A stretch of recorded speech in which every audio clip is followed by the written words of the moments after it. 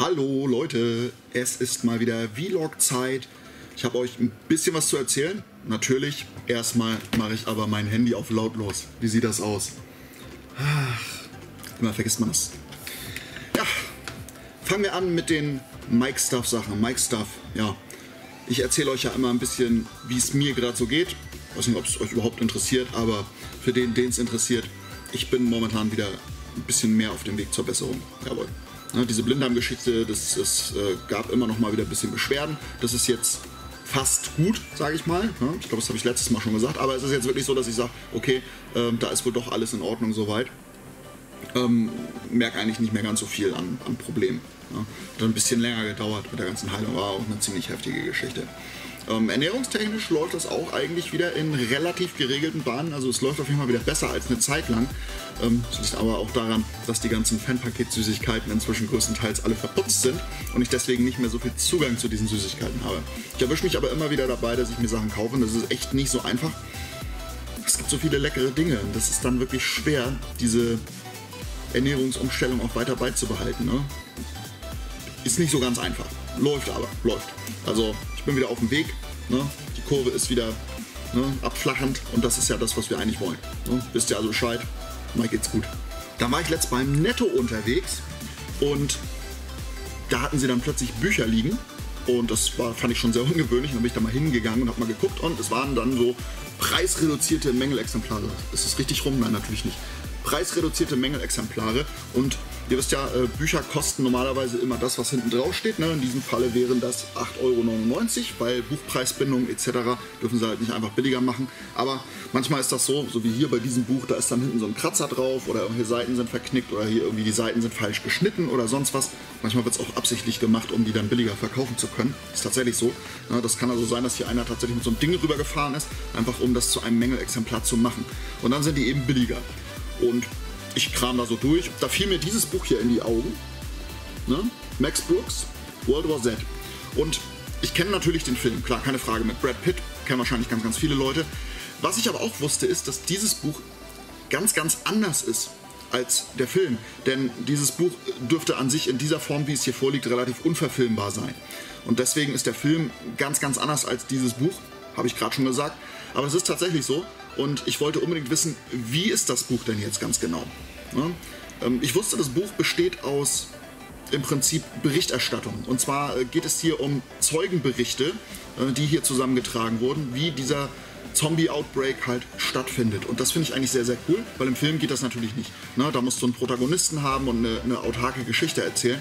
Hier wird diese Geschichte zwar auch äh, erzählt und, und zwar so, dass sie eine gewisse Reihenfolge ergibt, ne? wie das zum Ausbruch kommt und wie es dann immer schlimmer wird, wie die Öffentlichkeit darauf aufmerksam wird und so weiter und so fort. Aber hier ist das eben von verschiedenen Leuten erzählt. Das kannst du in einem Film natürlich nicht machen. Und dementsprechend ist das durchaus interessant und ganz, ganz anders als der Film. Und als Beiwerk zum Film ne, wenn man den Film gut fand und kennt, sogar noch viel, viel cooler. Letzten Endes ist das Buch sogar besser als der Film, muss man auch sagen. Ne? Der Film war ja noch nicht jedermanns Sache, war halt so ein Blockbuster-Zombie-Film. Ne? Aber richtig cool. Also ich persönlich lese das gerade und finde es ganz, ganz toll und kann euch das nur empfehlen. Gab es jetzt beim Netto ne, für 3,99 Euro, da kann man sich nicht beschweren. Ich habe doch noch ein paar andere mitgenommen, die hebe ich mir aber auf für weitere Vlogs, damit ihr da auch noch was zu sehen habt. Ne? Weil so ein bisschen dauert das schon, so ein Buch durchzulesen. Ich bin jetzt demnächst unterwegs und da werde ich dann mal wieder ein bisschen lesen können. Wenn man alleine unterwegs ist, dann liest man ja durchaus. Ansonsten höre ich mir den Krams als Hörbuch an. Gibt es übrigens auch als Hörbuch, das Buch. Sehr wohl. Kommen wir zum Kinotipp. Guardians of the Galaxy. Muss ich mehr sagen? Volume 2 kommt jetzt bald in die Kinos. Ist natürlich eine coole Sache. Der Trailer ist wirklich unheimlich vielversprechend. Ich glaube, das wird wieder ein wirklich buntes Popcorn-Kino. Einfach ein Blockbuster. Ganz, ganz klar. Marvel weiß einfach, wie man es richtig macht. Und äh, diesmal klingt das halt äußerst interessant. Ich glaube, die Trailer haben noch gar nicht so wirklich viel verraten, worum es exakt geht. Ne? Man sieht immer nur so kurze Sequenzen. Ne? Groot ist ja jetzt äh, im letzten Film so ein bisschen kaputt gegangen und da gibt es jetzt halt diesen kleinen Groot, der wird jetzt langsam wieder etwas größer und wächst langsam. Ne? Ansonsten sind sie halt alle wieder dabei. Gamora, Drax, äh, Star-Lord und natürlich auch Rocket. Und im Trailer sah man so ein paar Sequenzen, aber noch nicht wirklich irgendwas, was, was wirklich auf eine Handlung schließen lässt, glaube ich. Ehrlich gesagt habe ich bis jetzt natürlich nur die Trailer gesehen, aber ich glaube, der Film wird ein riesengroßer Hit, deswegen unbedingt im Kino angucken. Definitiv. Ne, Guardians of the Galaxy, da habt ihr hundertprozentig euren Spaß dran. Ich finde, der erste Teil war schon neben Doctor Strange und äh, Winter Soldier für mich einer der definitiv besten Marvel-Filme der letzten Jahre. Und das sagt schon einiges aus. Also unbedingt angucken, sehr, sehr cooler Film, glaube ich zumindest. Ne? Wenn es so ist wie der erste und das scheint so zu sein, mit sehr, sehr cooler Musik aus dem Mixtape Volume 2, kann das eigentlich nicht in die Hose gehen. Der Blu-ray-Tipp ist diesen Monat ganz klar fantastische Tierwesen und wo sie zu finden sind. Fantastic Beasts von J.K. Rowling. Im Prinzip ein Prequel zu Harry Potter. Ja, im Harry Potter kommt irgendwann dieses Buch vor, Fantastische Tierwesen. Und das hier, ne, dieser Film, erzählt die Geschichte von Newt Scamander, dem Kollegen, ne, der dieses Buch letzten Endes geschrieben hat. Ähm, geht um den jungen Mann hier, der nach Amerika reist mit einem Koffer voll magischer Kreaturen. Und außerdem geht es um eine böse Kreatur oder eine ja, böse Kreatur, kann man sagen, die äh, in der Welt sein Unwesen treibt und dabei ist im Prinzip die magische Welt zu offenbaren und das wollen die ganzen Magier und Zauberer ja nicht. Dann gibt es da noch den bösen Zauberer Grindelwald, der da eine gewisse Rolle spielt. Ähm, auf jeden Fall ein sehr, sehr cooler Film. Ich fand den toll, ich freue mich auf die weiteren Filme, da soll es dann irgendwann fünf Stück geben am Ende ist eine coole Geschichte. Ne? Macht auf jeden Fall unheimlich viel Spaß und sieht auch einfach atemberaubend aus. Also das Ding macht richtig, richtig Laune. Ne? Ihr habt hier wirklich coole Charaktere. Ne? Er wirkt ein bisschen verschroben. Ne? Äh, und, und, und, dann haben sie hier den, den Comic Relief, ne? den Kowalski, der einfach nur lustig ist und der, ja, und Niffler natürlich, klar, keine Frage. Ne? Niffler, ihr liebt alle Niffler. Niffler ist toll was soll ich dazu mehr sagen? Ne? Fans werden das Ding sowieso schon abfeiern und ganz, ganz toll finden. Und Leute, die davon noch nichts wissen, schaut euch das Ding an. Ihr könnt den auch gut finden, ohne Ahnung von Harry Potter zu haben. Das funktioniert. Ihr müsst die Harry Potter Filme nicht gesehen haben und könnt hier trotzdem euren Spaß mit haben. Ne? Ich denke, das ist auf jeden Fall was richtig Tolles. Ich stehe auf die Harry Potter Filme. Ich stehe auf alles, was von J.K. Rowling kommt. Deswegen ganz klare Blu-ray-Empfehlung. Fantastische Tierwesen und wo sie zu finden sind. Unbedingt angucken. Der heutige Serientipp ist tatsächlich ein Klassiker unter den Serien. Ich habe mal keine neue Serie für euch, sondern wirklich eine alte Serie. Wenn ihr Sons of Anarchy gut fandet, ne, dann wird das auch was für euch sein. Hier geht es um die Mafia. Ne, ist ja bei Sons of Anarchy ähnlich. Da geht es halt um einen Motorradclub, aber die funktionieren sehr ähnlich wie eine Mafia. Ne, wer da Scheiße baut, der wird umgebracht und so weiter und so fort. Und hier ist das ganz genauso. Es geht um diesen Mann hier, Tony Soprano, ne, gespielt vom großartigen, leider inzwischen verstorbenen James Gandolfini eine grandiose, tolle Serie, die über, ich weiß gar nicht wie viele Staffeln, Staffel 6, das ist die letzte Staffel, davon gibt es zwei Parts. Man kriegt diese Box inzwischen relativ günstig, das ist jetzt nur ein Teil, ne? aber man kriegt auch die Gesamtausgabe relativ günstig. Und es ist eine großartige Serie mit viel Gewalt über die Mafia in Amerika. Ne? Es geht uns, ums FBI, das versucht die zu kriegen. Ne? Äh, darum dann immer die Ränkespiele innerhalb der Gruppe. Ne? Toni und seine Schergen und Tonis Familie auch ganz, ganz toll. Also es ist eine Dramaserie. Ne? Grandios dabei zu erwähnen. Definitiv die Mutter von Toni und sein Onkel. Also ganz, ganz klar unbedingt anschauen ist eine ganz, ganz tolle Serie und die könnt ihr zusammen wirklich durchbingen. Ihr werdet da Spaß haben. Gebt dem Ganzen ein bisschen eine Chance, weil die ersten paar Folgen waren als Miniserie geplant und sind vom Stil her noch ein ganz, ganz bisschen anders als die spätere Serie. Das heißt also, ihr habt irgendwie so fünf, sechs Folgen, die euch vielleicht noch nicht ganz so gefallen, aber danach wird es dann richtig, richtig, richtig genial, äh, wenn es dann wirklich zur Serie kommt. Also unbedingt mal angucken. Die Sopranos, könnt ihr nichts bei falsch machen, macht richtig Laune. Kommen wir zu den Shop News. Soweit sind wir schon. Ich habe diesmal keine Netflix-Tipps für euch. Irgendwie war da jetzt nichts dabei, was ich jetzt so großartig fand, dass ich es euch sagen muss. Was ich euch aber sagen kann, ist, im Blizzard Store, ne, im Gear Store von Blizzard halt, ne, das nennt sich so, gab es jetzt einen riesengroßen Sale und ich habe da dick und fett eingekauft und ich möchte euch ein paar von den Sachen zumindest ganz, ganz kurz mal zeigen. Ne, auch die Preise nennen, die es da gab. Ähm, das Ganze hat mich 18 Dollar Versand gekostet und es kann sein, dass über FedEx jetzt im Nachhinein noch Zoll draufkommt, beziehungsweise Einfuhrumsatzsteuer. Das weiß ich jetzt noch nicht genau. Aber die Figuren an sich waren schon ins, insgesamt sehr, sehr günstig. Schaut mal, das sind die Heroes of the Storm äh, Nika-Figuren, ja. Von Arthas habe ich hier eine. Ich habe auch noch eine von Tyrael, wenn ihr euch das mal anschauen wollt. Ne? Diese Figuren, die werden normalerweise so im Handel um die 20 Euro liegen. Ich habe für diese Figur bezahlt 5,50 Dollar. Ne? Klar, inklusive na, Versand kam natürlich noch drauf und es kann sein, dass noch Zoll drauf kommt. Die haben sie auch noch im Shop, sogar ein paar davon, so wie ich das richtig verstanden habe. Es gibt auch noch ein paar andere. Es gibt auch noch, wie ihr seht, hier den Tyrael, der müsste auch noch da sein. Den Stitches, den kriegt man auch noch. Der ist eigentlich ein bisschen teurer, weil er etwas größer ist. Eine Nova ist dann noch und ein Illidan. Und die kann man auch noch in den Shop kriegen. Für 5,50 Euro bzw. 5,50 Dollar. Ne? Versand natürlich oben drauf gerechnet. Wenn ihr dafür 50 Euro bestellt, dann, dann habt ihr irgendwie 5, 6, 7 Sachen und das ist doch schon ziemlich cool. Finde ich sehr geil. Die Figur habe ich mir auf jeden Fall gegönnt. Ne? Werde ich aber wahrscheinlich auch eingepackt lassen. Ich hatte erst überlegt, packst du sie aus, machst du ein Review, aber äh, die kann man nicht auspacken, ohne dass man die Verpackung komplett zerstört und das wäre dann echt schade. Ja, und ich glaube, ich lasse den lieber eingepackt. Des Weiteren habe ich mir dann noch gekauft äh, zwei von den Plüschfiguren, ja. Und zwar ist das einmal der Windrider Pup, den wir hier haben. Ihr seht schon mit seinen Flügelchen, ne? Kennt ihr, ne? Da reitet ihr drauf, wenn ihr Horde seid. Dann ist das euer Viech zum Fliegen, ne? Alles dabei, was man braucht. Und diese Dinger kosten normalerweise 35 Euro. Es gibt dazu immer noch ein, ähm, ein Ingame-Code für dieses Viech als, als Pet. Ne? Da hat das dann auch dieses Horde-Symbol um die Brust. Und der ist auch mit dabei tatsächlich. Und das Ganze wird in einem kleinen Säckchen geliefert, damit man den auch wieder wegpacken kann, wenn er nicht einstauben soll. Ne, bei mir steht er jetzt im Regal. Und der finde also ich finde den einfach zuckersüß. Guckt euch den an, der sieht toll aus. Ne? Und normal kosten die, wie gesagt, so 35 Euro. Ich habe für den jetzt bezahlt 6,50 Dollar. Müsst ihr euch mal reinpfeifen. 6,50 Dollar für einen Plüsch in dieser Größenordnung. Da kann man definitiv nichts falsch machen. Auch ein richtig geiles Teil. Und den muss ich euch auch unbedingt zeigen, weil das Ding habe ich gleich richtig abgefeiert. Ne? Ich schaue das mal auf an. Ich weiß noch nicht, ob es funktioniert. Ja, macht es ein bisschen, ne? Er wackelt ein bisschen mit dem Kopf. Das ist Cute But Deadly. Das ist ja normalerweise eine Reihe, wo äh, Blizzard so kleine Figuren rausbringt in Blindboxen. Ne? Deswegen gibt es den hier trotzdem unter diesem Titel. Und das ist, ja, ihr seht schon, ne? das ist ein, ein Headknocker sozusagen oder ein ja, Bobblehead sozusagen. Ne? Der funktioniert mit Solar, das heißt also, wenn da genug Licht drauf scheint, dann fängt der Kopf an zu machen. Und das ist ein Baby-Murloc. Und ich finde, ja, ich, ich komme da nicht drum, drum herum. Solche niedlichen Dinger finde ich einfach toll und das sieht echt grandios aus. Schaut euch das an, ne? Murloc, Solar, Bobble, Buddy nennt sich das Ganze. Ach du Schande. Ja, und der war auch vorher richtig teuer. Ich glaube, der sollte irgendwie fast 30 Euro kosten. Den habe ich jetzt auch für, lass mich lügen, 8 Dollar. Dieses Teil, hammergeil. Ich feiere den und ich freue mich total, dass ich ihn habe. Coole Sachen im Blizzard Store. Einfach mal vorbeischauen. Und wenn ihr Glück habt, kriegt ihr noch ein paar Sachen. Vieles ist schon ausverkauft. Funko Pops habe ich da auch gekauft.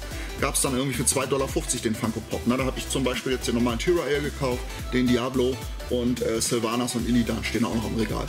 Also Ne?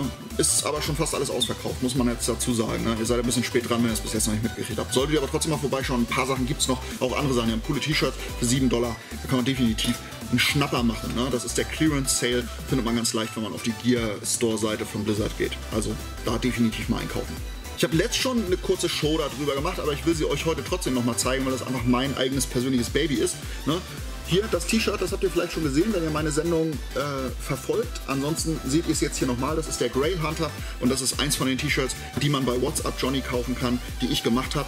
Ne? Ihr trefft den auf diversen Conventions. Ne? Ich blende euch vielleicht mal kurz den Convention-Fahrplan ein. Ne? Das sind die Conventions, wo WhatsApp Johnny zu sehen sein wird. Schon eine ganze Menge und da könnt ihr auch meine T-Shirts kaufen. Ganz, ganz klar. Ne? Also hin da und kauft die Shirts. Oder ansonsten im Online-Store, da gibt es sie nämlich auch definitiv eine coole Sache. Ich feiere das, ich finde das total toll, dass Leute mit T-Shirts von mir rumlaufen und deswegen gerne noch ein paar mehr davon kaufen. Für die Comic-Con in Linz habe ich ja auch ein T-Shirt gemacht. Das ist gerade bei mir in der Wäsche, deswegen kann ich euch das nicht zeigen, aber ich kann euch zumindest das Motiv zeigen. Äh, das äh, seht ihr nämlich hier. Zwar ist das hier auf dieser Postkarte ein wenig äh, detaillierter. Ich habe ein bisschen mehr Farbverläufe drin als auf dem T-Shirt, aber das Motiv ist dasselbe. Das Coole war, wir hatten irgendwie eine relativ kleine Auflage und ich habe das T-Shirt zusammen gemacht mit den Jungs hier, ne? Mighty Underground. Ne? Und äh, zusammen auch mit WhatsApp Johnny ein Stück weit, weil der hat die nachher am Ende verkauft, ne? hat dafür auch ein T-Shirt für sich selber bekommen. Ähm, ich selber habe auch eins bekommen und äh, wir hatten zum Ende hin am zweiten Tag schon gar keine mehr übrig. Die waren am ersten Tag alle soweit äh, fast restlos ausverkauft. Das heißt, Leute, die am Sonntag kamen, die konnten keins mehr kriegen. Es tut mir dann auch sehr leid. Auf jeden Fall habe ich eins bis ganz zum Schluss aufbewahrt und ja, äh, bin dann am Sonntag äh, mit diesem T-Shirt und dieser Karte bewaffnet äh, zu den Stars gegangen. Und zwar war ja Michael Cudlitz anwesend und der ist ja nun technisch gesehen hier auf diesem Motiv ein Stück weit mit verewigt. Und habe halt zur Security gesagt, Leute, pass mal auf, ich habe hier was für den, für den Herrn Cutlitz. Darf ich, darf ich dem das überreichen? Und dann haben die gesagt, ja klar, komm rum. Ne? Der Manager hat gesagt, ja logisch, komm vorbei. Dann gab es einen kleinen Handshake. Ich habe äh, mich ihm kurz vorgestellt und äh, habe gesagt, dass ich mich sehr freue, ihn zu treffen. Und durfte dann tatsächlich Michael Cutlitz mein T-Shirt in die Hand drücken, das ich ihm dann sozusagen geschenkt hatte. Das fand er ganz, ganz toll. Er hatte vorher auch schon ein paar davon gesehen, weil es gab Leute, die haben sich das signieren lassen von ihm. Und er meinte dann auch schon, oh, das hat er schon ein paar Mal gesehen jetzt und er findet das super und er wollte ganz gern sowieso wissen, wo es herkommt. Ne? Und deswegen fand er das ganz toll und hat sich sehr gefreut, das zu bekommen. Ich hoffe, er hat es auch mitgenommen, man weiß das ja immer nicht. Aber dafür hat er mir dann zum einen ein Autogramm mitgegeben. Das hat er mir dann einfach mal geschenkt. Ihr seht das hier, ne? Äh, ein Originalautogramm von Michael Kaplitz. Wenn ihr das entziffern könnt, das hier oben dürfte Michael heißen. Was steht da? Ich kann es nicht entziffern. Schaut es euch mal an. Das wird seine Unterschrift sein und da hat er noch ein kleines was auch immer gemalt. Ähm, auf jeden Fall keine Ahnung, was das sein soll. Ich weiß es nicht. Äh, keine Ahnung, wenn ihr das rausfindet, sagt mir das gerne, was das bedeuten kann. Ne? Es sind da irgendwelche Kryptologen unter euch. Ich habe auch nicht mehr nachgefragt, muss ich ganz ehrlich sagen. Das hat er mir geschenkt. Und dann hat er gesagt, wenn du noch so eine Karte auftreiben kannst, dann gib mir die mal. Und da ich ja die Karten auch mitproduziert habe und wir da irgendwie 1000 Stück von haben, und da gibt es auch noch ganz, ganz viele von, also könnt ihr auch gerne eine haben, wenn ihr eine haben wollt. Diese hier kriegt ihr allerdings nicht, denn Michael Cutlitz hat tatsächlich auch diese Karte von mir unterschrieben mit seiner Unterschrift und den Worten Suck my nuts. Das Ding habe ich schon mal richtig gefeiert. Ja, das feiere ich fast noch mehr als das saukoole Autogramm. Hammercool, geil. Danke, Michael. Wirklich, echt danke. Also ich, ich bin echt immer noch geplättet deswegen, dass er das gemacht hat. Und das war halt einfach gratis, ne? Und die Leute haben da richtig viel Geld für bezahlt. Gut, er hat dafür ein T-Shirt geschenkt bekommen, muss man ja auch mal dazu sagen. Das war auf jeden Fall ein, ein cooles Erlebnis auf der Comic-Con in Linz, definitiv. Kommen wir zu den Convention News. Ich habe ja eben schon ein bisschen was erzählt ne? und habe hier meine tolle Geschichte erzählt äh, von Michael Cudlitz. Linz war ja an sich sowieso ganz, ganz cool. Es war nicht so sonderlich voll und wie ich das verstanden habe, haben die meisten Händler sich auch relativ stark beschwert, dass sie nicht so wahnsinnig viel Umsatz gemacht haben.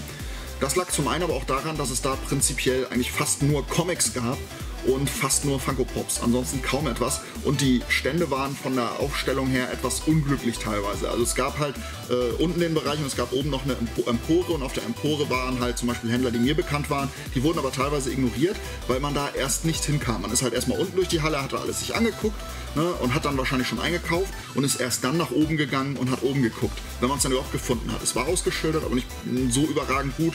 Teilweise gab es dann nachher noch Leute, die haben Schilder hingehängt, hier, das gibt es da oben. Ne, aber äh, teilweise war das halt etwas unglücklich für die Leute. Das hätte man anders lösen können, indem man wirklich die Händler alle unten hätte und oben dann eben, oder umgekehrt, ne, und oben dann entsprechend den, den Unterhaltungssektor. Das wäre etwas schlauer gewesen und äh, damit hätte man auf jeden Fall ähm, die ganze Sache etwas angenehmer verteilt für die Leute. Wie gesagt, umsatztechnisch war die Convention wohl nicht so stark. Ich habe da unheimlich viel Spaß gehabt. Es war super cool. Die Cosplayer waren alle ganz, ganz toll. Ich hoffe, ihr habt inzwischen das Cosplay-Video gesehen und das Making-of, denn wir durften schon einen Tag eher da sein und ich konnte äh, dann einige Szenen aufnehmen, wie die Leute da den Aufbau machen. Ist auch ganz interessant geworden, ist jetzt irgendwie so ein 14-minütiges äh, Montagevideo, wie die Leute da langsam, aber sicher halt immer mehr an ihren Ständen stehen haben. Und ich habe auch viel Merchandise gezeigt, was es da schon zu sehen gab. Also auch für jemanden, der wissen will, was es man so auf Conventions kaufen kann, ist das ein unheimlich interessantes Video. Unbedingt mal reinschauen. Ne? Ja, was habe ich da noch erlebt in Linz? Also die Fahrt war natürlich der Horror, ne? 14 Stunden hin, 14 Stunden zurück, also 28 Stunden on Tour ist natürlich schon echt eine heftige Sache. Ansonsten war das aber relativ cool. Die Convention selber war ganz toll und äh, nächstes Jahr ist die in Wels, nicht mehr in äh, Linz. Und da bin ich mal gespannt, ob ich da auch wieder hinkommen kann. Mal gucken. Ne? Das ist immer eine Frage der Finanzen. Es ist immer eine Frage, ob wir eingeladen werden und äh, wie sich das mit dem Hotel ergibt. Also von daher schauen wir mal. Ich verspreche nichts, aber ich hoffe es. Wo ihr mich auf jeden Fall sehen werdet, und das dürfte in den nächsten paar Tagen sein, ist Frankfurt. Jawohl, ich habe das hingekriegt, dass ich nach Frankfurt kommen kann. Das heißt, ich bin Samstag und Sonntag in Frankfurt. Wenn ihr also auf der äh, Comic Con Germany seid, in Frankfurt Comic Con Germany, German Comic Con, ich habe keine Ahnung. Ihr wisst, welche ich meine, ne? die in Frankfurt halt.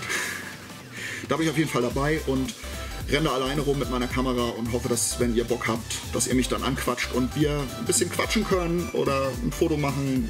Ne? Ich habe auch meine Visitenkarte immer mit dabei und drücke euch die gerne dann in die Hand. Ne? Da kenne ich ja nichts. Vielleicht nehme ich auch hiervon ein paar Karten mit, obwohl das dann nur für Österreich war, aber ne? könnt ihr dann auch haben. Das geht also alles klar, das ist dann gar kein Thema. Ansonsten werdet ihr mich dann erst im Mai wieder auf einer Convention treffen können, und zwar in Hannover. Das ist nämlich auch ganz, ganz fest eingeplant. Da geht es zur MCM Ähm, Star-technisch war die Convention jetzt noch nicht so berühmt, aber wir sind ja da. da bin ich auf jeden Fall mit Chris und mit Mark, so wie es aussieht, ne, dem Comic Toy Hunter. Das geht also los. Da haben wir hoffentlich auch wieder viel, viel Spaß. Wir werden am Samstag da sein. Ich weiß nicht, ob wir auch am Sonntag da sein werden, weil wir fahren direkt, aber ich gehe davon aus, dass wir vermutlich nur am Samstag da sein werden. Also wenn ihr auf die äh, Comic-Con in Hannover fahrt, dann rechnet mit uns am Samstag.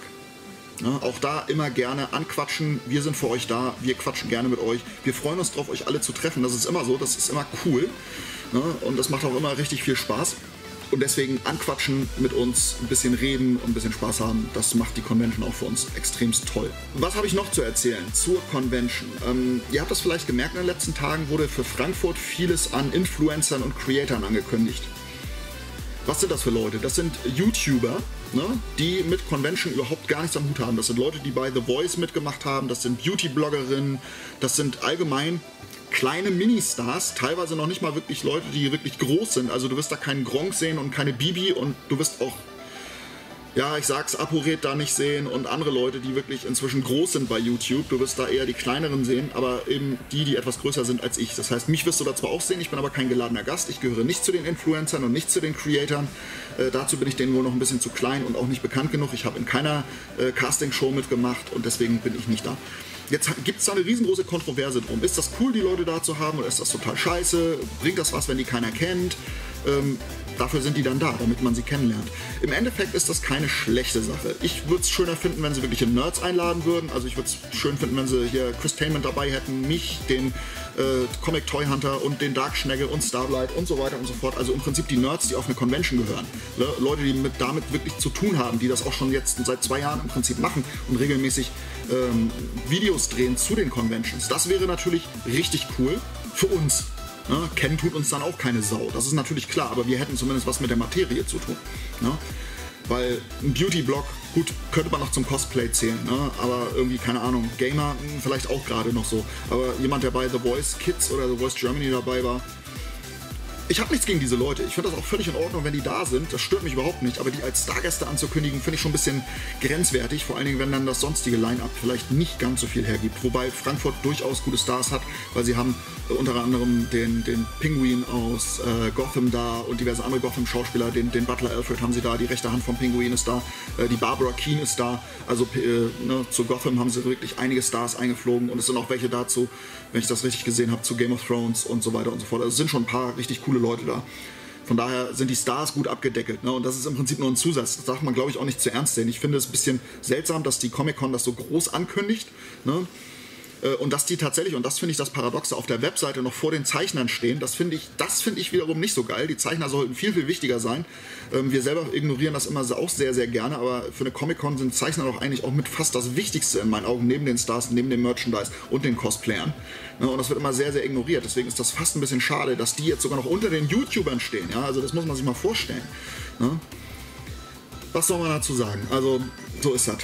Ich bin da ein bisschen zwiegespalten. Ich finde das okay, dass die Leute da sind. Die stören mich da nicht. Ich muss da ja nicht hingehen, wenn es mich nicht interessiert. Ich finde es nur seltsam, dass die die so groß ankündigen und dass sie nicht Leute einladen, die vielleicht ein bisschen was mehr mit den Nerds zu tun haben. Meine persönliche Meinung. Ne? Ihr könnt mir da gerne was zu schreiben in den Kommentaren. Das interessiert mich auch, wie ihr dazu steht zu dieser Sache. Ich durchaus Interesse dran, das rauszufinden. Zum Thema YouTube allgemein. Ne, ihr wisst ja, mein Kanal ist ständig am Wachsen, auch äh, dank Leuten wie Tobinator, die immer wieder es nicht müde sind, meinen Namen zu nennen und mir dadurch neue Abonnenten bescheren. Ähm, aber ihr könnt auch einiges zu tun, Leute. Und zwar ist das überhaupt gar kein Thema. Ihr könnt gerne meinen Kanal empfehlen. Ihr könnt den teilen auf eurem Facebook, auf eurem Instagram, in Twitter oder persönlich. Ihr könnt euren Freunden von mir erzählen. Ihr könnt tatsächlich einfach Leute einladen, die ihr kennt, äh, meine Seite zu liken auf Facebook und so weiter und so fort. Also ihr könnt unheimlich viel dazu tun, dass ich bei YouTube noch ein bisschen mehr Spielraum bekomme, denn für euch ist das auch interessant, weil je mehr Abonnenten ich habe, je größer ich bin, desto eher kann ich Giveaways raushauen und richtig guten Content bieten. Das müsst ihr euch auch einfach mal reinziehen. So. Was biete ich euch dafür? Ja, das ist jetzt die große Frage. Was biete ich euch dafür, dass ihr mir neue Abonnenten verschafft und weiter auf meinem Kanal tätig bleibt mit Kommentaren und Abonnenten und was nicht allen? Ja, ich biete euch wie immer die Popshow einmal die Woche. Außer wenn Sonderfälle sind, wo es entweder nicht viel zu berichten gibt oder ich woanders bin und kurzfristig keine Popshow machen kann. Dann natürlich nicht. Aber dann gibt es Ersatzprogramm. Ne? Und Ersatzprogramm ist bei mir kein billiges Ersatzprogramm, sondern immer ein gutes Ersatzprogramm. Es gibt weiterhin die Comic Show. Da kommt demnächst auch vielleicht ein bisschen was Größeres an Ankündigung. Ich mache natürlich weiter mit Sachen wie der Convention-Geschichte, dass ich halt versuche, auf möglichst viele Conventions zu gehen, um euch da Cosplay-Videos zu zeigen und ähm, ne, mit Chris zusammen habe ich ja den Con-Typ gemacht. Ich weiß nicht, ob ich das für Frankfurt dann alleine machen soll. Da muss ich nochmal mit ihm drüber reden, was er dazu sagt, weil das an sich ja ein Konzept auf seinem Kanal ist und nicht bei mir. Ähm, dann gibt es natürlich weiterhin Unboxings. Ich habe mir die Disney Treasures Box besorgt. Die Geek Fuel wird es auf dem Kanal geben. Die King's Loot. Die Degusta Box. Ich muss das ablesen, weil es so viele sind. Die Marvel Collectors Core Box. Die Loot Gaming ist noch auf dem Kanal. Die Loot Crate ist auf dem Kanal. Vielleicht sogar noch eine Loot Raider Box.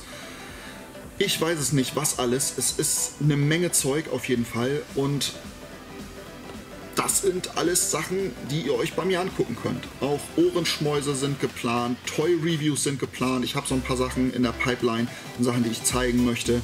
Äh, ihr könnt das auch immer ganz gut verfolgen, wenn ihr meine ganzen Videos so anguckt. Da spreche ich immer mal so wieder auf Themen an, ob ihr da Interesse dran habt, das zu sehen. Ne, ähm, ist halt einfach so, dass es da einiges Schönes gibt und ich hoffe, dass ihr da Spaß dran habt und auch noch weiter mit dabei bleibt. Ich habe noch ein bisschen mehr Mike-Stuff. Und zwar muss ich euch erzählen, ich habe jetzt ein Postfach. Das habt ihr vielleicht in der Videobeschreibung schon gelesen und ich habe es auch, glaube ich, schon mal irgendwo erwähnt. Das heißt also, wenn ihr mir jetzt Sachen schicken wollt, ne, ein Brief, eine Zeichnung, ein kleines Päckchen, irgendwas, irgendeine Fanpost, wenn ihr da Bock drauf habt, dann könnt ihr das jetzt problemlos tun über dieses Postfach. Hm, das habe ich extra eingerichtet, damit ihr mir Sachen schicken könnt ohne dass ihr äh, schwer an meine Adresse rankommt. Schickt mir gerne was. Ich freue mich über jede Sache, die ankommt. Äh, ihr habt ja vielleicht gesehen, dass in letzter Zeit so richtig viele coole Sachen angekommen sind und ähm, da hat dann irgendjemand drunter geschrieben, ja, ich hoffe nicht, dass jetzt alle Pakete an diesem einen Paket gemessen werden. Ganz klares Nein. Ne? Äh, das Paket von Uwe, das war ein Sonderfall, das ist äh, das, was, was ich richtig abfeiere, aber ich feiere auch eine kleine Zeichnung ab. Ne? Ich freue mich definitiv und hundertprozentig wirklich echt über jeden Gegenstand, über jede Zeichnung, über jeden Brief, den ihr mir schicken wollt. Ne? Ich messe das definitiv nicht an dieser riesengroßen Box, die mir geschickt wurde. Ne? Das ist ein Ausnahmefall, das wird wahrscheinlich auch nie wieder passieren und dementsprechend kann man das auch gar nicht als Regelfall ansehen. Und ähm, ihr solltet mich gut genug kennen, dass ihr wisst, dass das auch nicht so ist, dass ich das dann alles über einen Kamm schere und sage, also das Paket ist jetzt nicht so gut gewesen wie das von Uwe. Ne? Definitiv nicht. Also da braucht ihr keine Sorgen zu haben. Ne? Das nochmal ganz, ganz klargestellt. Weiterhin möchte ich unbedingt den Aufruf noch einmal machen. Wir sind ja die Toy Hunter und wir möchten weitere Folgen mit euch drehen. Das können wir aber nur dann machen, ne, wenn ihr uns eure Keller, eure Dachböden ne, oder eure in Kartons verschwundenen Sammlungen zur Verfügung stellt. Das heißt also, wenn ihr aus der Gegend von Schleswig-Holstein sag ich mal Niedersachsen kommt, so in diesem Bereich so, ja, um Hamburg rum, erstmal. Das wäre erstmal schon mal ganz nett. Wenn ihr weiter aus dem Süden kommt, dann müssen wir gucken, wann wir das mit unterbringen. Aber wenn ihr aus diesem Bereich kommt, dann meldet euch gerne bei uns. Wenn ihr einen Keller oder einen Dachboden habt, wo noch alte Toys schlummern oder wenn ihr eine Sammlung habt, die, äh, die weggepackt ist, weil ihr das momentan nicht in die Wohnung unterbringen könnt, wo man stöbern kann, wo man suchen kann, ne, wo wir uns durchwühlen können, dann könnt ihr euch gerne bei uns melden. Ne? Äh, einfach unter das Video kommentieren oder im Zweifelsfall schickt mir eine E-Mail. Ihr habt genug Möglichkeiten, mich zu kontaktieren oder kontaktiert den Chris. Und dann reden wir drüber und dann kommen wir vorbei und machen mit euch ein geiles Video. Ne? Einen richtig coolen Nostalgie-Trip in die Vergangenheit. Da haben wir richtig Spaß dran und wir füllen unseren Kanal mit einer tollen Show, die leben soll und die nur dann leben kann, wenn ihr uns dabei unterstützt. Also gerne sich melden, wenn ihr Toy Hunter bei euch zu Hause haben wollt. Wir freuen uns auf euch. Zu guter Letzt habe ich noch zweieinhalb bis drei Sachen. Und zwar betrifft das alle, äh, alle die Art und Weise, wie ich euch Videos und Sachen präsentiere. Ähm, es kam immer mal wieder die Frage auf, was mit Facebook Live ist. Ob ich eventuell zwischendurch Sachen machen soll, ähm, die ich einfach live mache. Ein Vlog jetzt vielleicht nicht, aber im Prinzip Sachen wie Frag den Mike, das kann man natürlich super gut live machen. Ne? Ähm, das könnte man über Facebook live machen oder man macht das über Twitch. Da bin ich auch schon am überlegen. Twitch-Stream habe ich schon gemacht. Mein Rechner kriegt das gerade so hin, wenn ich dabei spiele. Nicht mehr ganz so. Fürs reguläre Stream wird es mit der Internetleitung wahrscheinlich reichen. Da muss man noch mal gucken. Ich habe jetzt momentan noch keine Webcam. Da wird aber dran gearbeitet. Und dann könnte ich eventuell sowas auch machen. Twitch-Streams oder Facebook Live, wenn ihr da Bock drauf habt. Da wird es dann halt Sachen geben, wo ich entweder über bestimmte Themen rede oder eben so Sachen wie Frag den Mike und vielleicht wer weiß, Live-Unboxing. Ich würde es halt vorher ankündigen und sagen, so, jetzt gibt es das Unboxing live. Wenn ihr Bock habt, seid mit dabei. könnte man durchaus machen. Ne? Bei Twitch ein Unboxing wäre doch ganz cool. Oder regelmäßige Streams. Wenn ihr Bock habt, würde ich auch Hearthstone zum Beispiel, das funktioniert wohl noch ganz gut abends streamen. Ich bin ein scheiß Spieler in Hearthstone, aber mein Gott, warum nicht? Ne? Ihr müsst mir das nur sagen, ob ihr Lust dran, äh, drauf hättet auf solche Sachen, dann würde ich mir das überlegen, das zu machen. Ne? Noch ist die Zeit da, noch kann ich das machen, noch bringe ich das mit unter. Und je größer das wird, desto einfacher wird das, das zu machen. Deswegen gerne in die Kommentare schreiben, ob ihr Bock auf solche Sachen habt. So, jetzt habt ihr viel zu verarbeiten, ihr habt mir viel zu kommentieren. Ne? Schaut euch gerne nochmal das Video komplett an, damit ihr auch nichts vergesst, ne? wenn ihr mir die Antworten gebt. Genug gefaselt. Wir sehen uns beim nächsten Mal, beim nächsten Unboxing, bei der nächsten Popshow, bei der nächsten Convention Show, bei irgendeiner von meinen Shows oder beim nächsten Vlog, wenn ihr Bock habt. Macht's gut, liebe Leute. Tschüss.